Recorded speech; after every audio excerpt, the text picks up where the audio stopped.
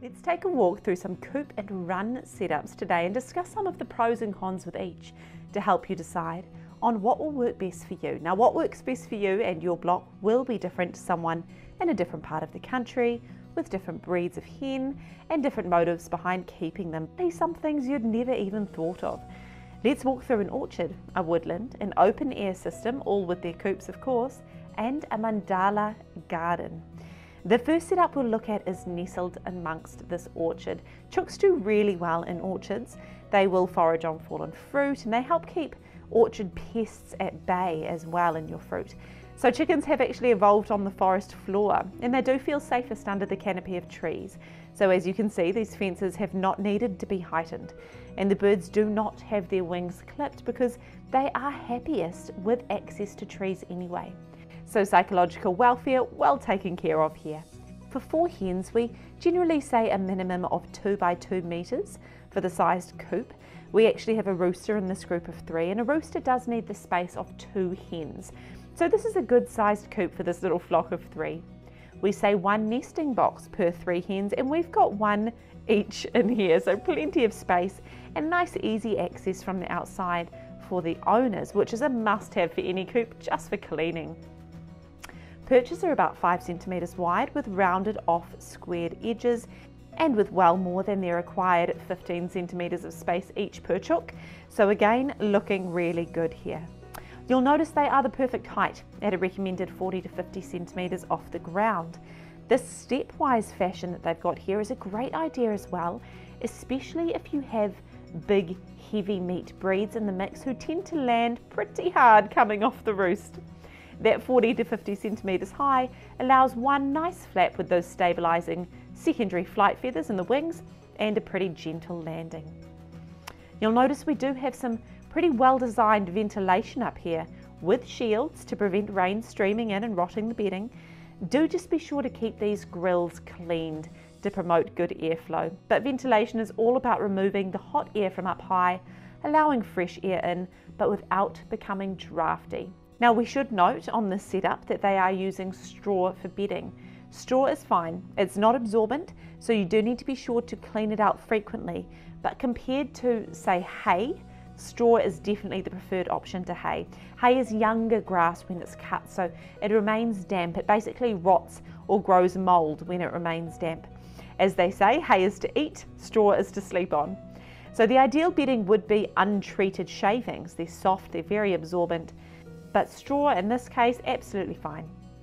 Our big swinging door here lets us get all the way in for a good clean and there's also a nifty sort of pull-out tray down here for a full clean off the floor.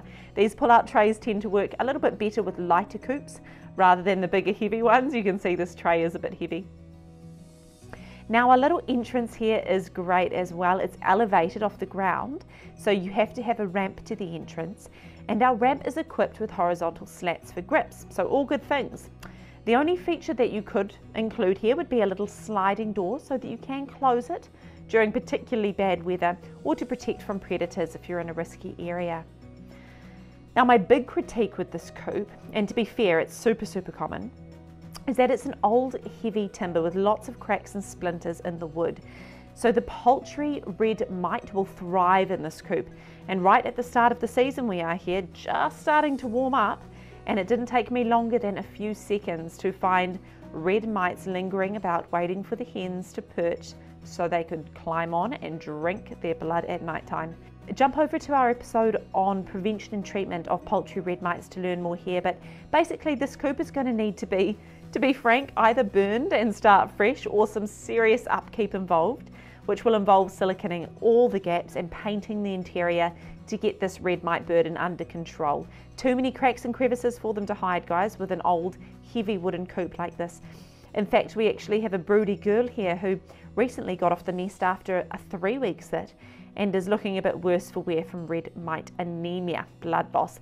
And we also have evidence here of the hens not wanting to go into the coop at night. This is another thing you'll see with red mite infestations. They'd rather sleep in the trees because they just don't want to go inside and be bitten all night by red mites. So, all in all, a beautiful setting, a great coop design, happy hens by day, just those filthy red mites need to always be considered when designing a coop.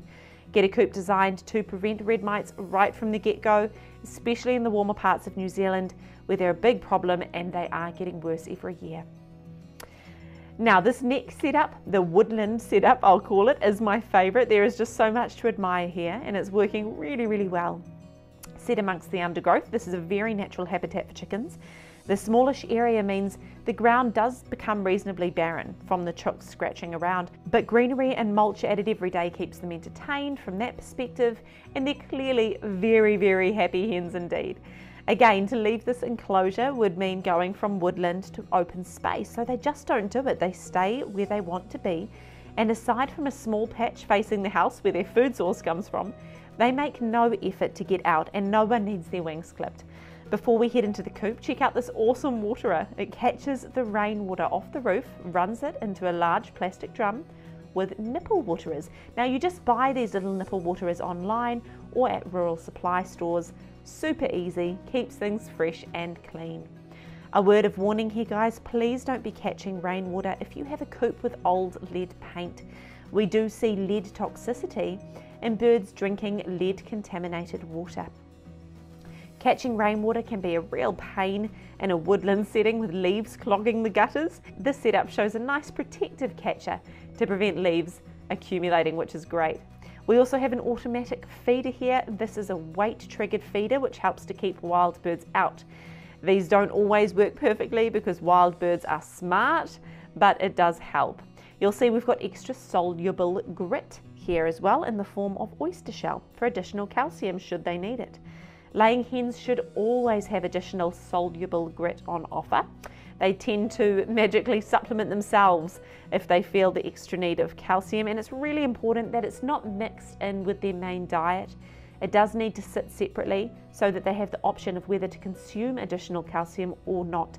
A separate little bowl altogether in here would make me feel more comfortable, but realistically, this is probably fine cleaning products and supplements sitting on the outside here and an additional lean-to has been built which they spend plenty of time hanging out on as you can see. The owner tells me that in the wet weather they do really want to get out of the rain but they don't always just want to hang out in the coop for days on end. I'm sure we all know that feeling. So different options for shelter work really well. So let's head inside the coop now. Easy access nesting boxes, a must, and this made me laugh a little two of the most cliche broody breeds, an Orpington and a little Bantam hogging the nesting boxes. Two boxes between six hens. This fits into the recommendations of one box to three or four hens. Of course, if somebody goes broody, we need to make sure that the other girls have somewhere to go. Lots of ventilation in this coop, but a bit of a smaller higher grill to give a wee bit more protection would certainly be ideal. Try and keep those open grills above where the girls are roosting at night. You'll have to be prepared to get out ASAP to replace the bedding after a storm.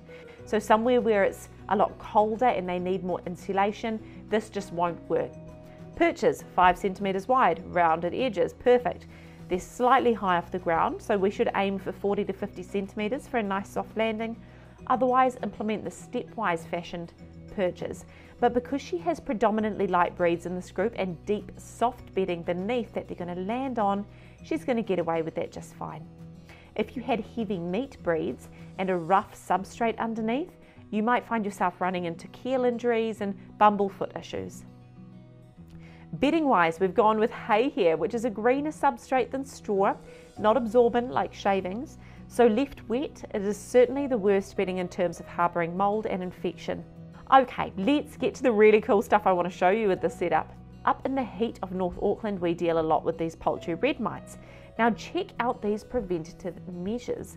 We have a wooden coop, but it's made of smooth plywood for the most part, so not the deep splintered heavy wood crevices and cracks that the old heavy wood comes with, so not so many places to hide for the red mites.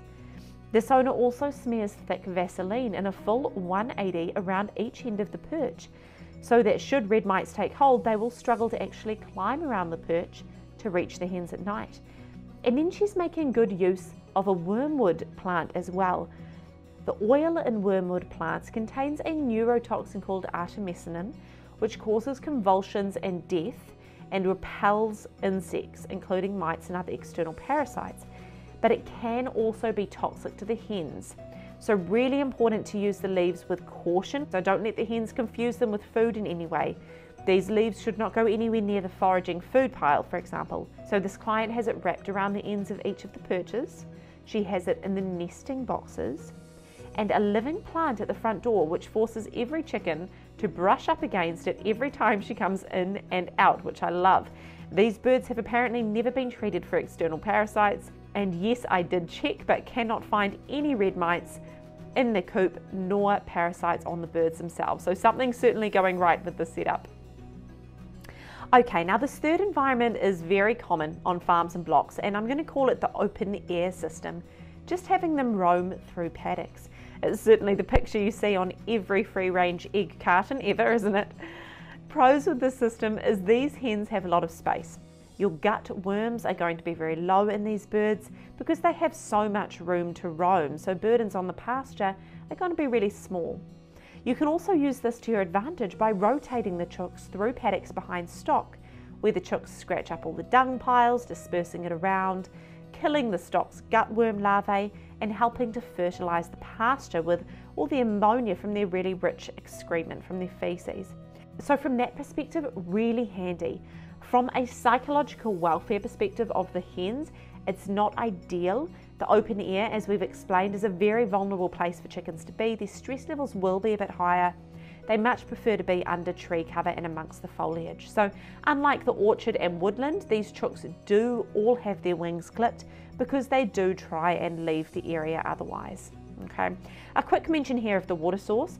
Troughs are fine, but if you're going to allow access to a large trough, if you've got one in the environment with water in it, please do make sure that you place some stepped bricks or rocks in the bottom so that birds that fall in can get back out again. Drownings are not uncommon, and this actually is an example where the owner has had birds drown in the past. Moving over to the coop, very cool access system.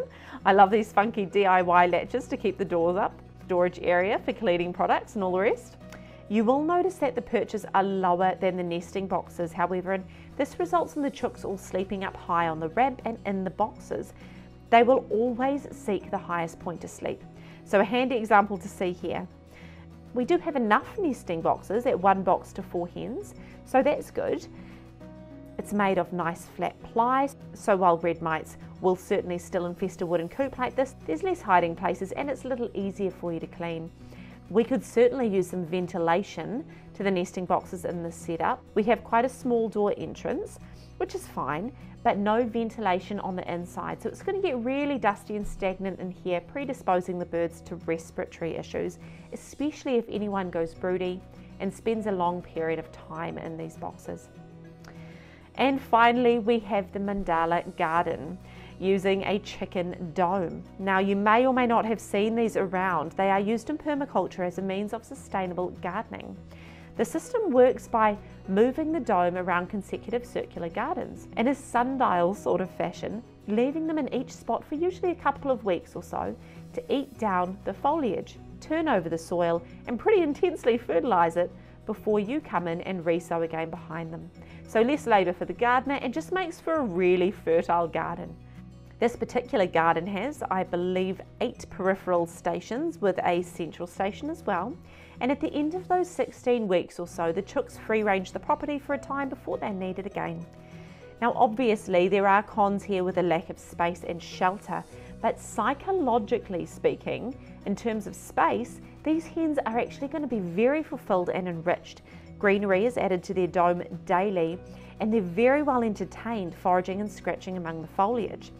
They also have a single rooster in the group, which dramatically decreases any squabbling between hens. Roosters are really worth their weight in gold at keeping the peace. Shelter is probably the biggest concern for this owner, certainly. They have a tarpaulin sheltering the dome, and that's what you normally see with these domes. If you wanted to up the ante on that, some people will use tarps that can actually roll up and down on different sides. We should have somewhere that they can be shifted to shelter during particularly harsh weather, rain and wind, and even during heat waves because they won't have the ability to find their own microclimates in a small enclosure.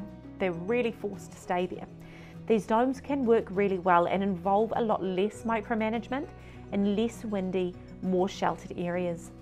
Now the roost here is worth noting, it's quite a cool setup, protected from nocturnal predators of course like mustelids because it hangs, so very cool design there. There is obviously no bedding to change, just the au natural floor, which is of course impossible to decontaminate and disinfect should you need to. But so long as they are otherwise protected from predators that may burrow in, and so long as they're shifted should it get wet, you can get away with dirt floors. It's when things get wet with built up feces harbouring infection that's when things get out of hand. As such, the system is of course not appropriate for all climates and environments. Now just noted here, these hens did used to have a nesting box on offer that got shifted along with the dome, but given the natural foliage, it is only fair that they preferred to make their own. Now you might think red mites wouldn't be a problem here. This setup has experienced red mites in the rope perches before, but it is easily kept under control and eliminated each summer. An automatic feeder is used when free ranging to protect from wild birds. Of course under the dome there's not an issue with wild birds, so fresh water Pellets and fresh foliage is given daily. All in all, very happy hens. Your biggest concern with this will be managing the shelter element if the environment is at all harsh. And perhaps with younger birds under a year old, moving over a smaller space like this could elevate their internal parasites. Okay guys, hopefully that's given you a lot to work with or at least some funky ideas there. Go forth and conquer.